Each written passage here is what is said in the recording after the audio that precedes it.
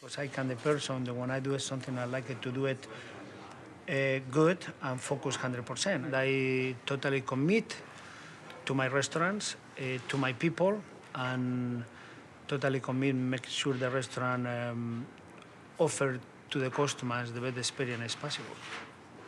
I like to give the the option to the people to be comfortable with the time, quantity, and economics, the money they want to spend. I think the, that's my, my idea. The people feel very much comfortable.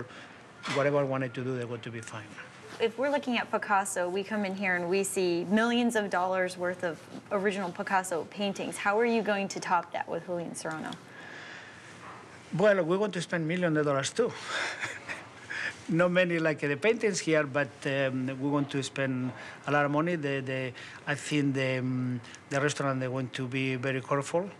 Um, I think the restaurant they want to make you feel um, good, happy.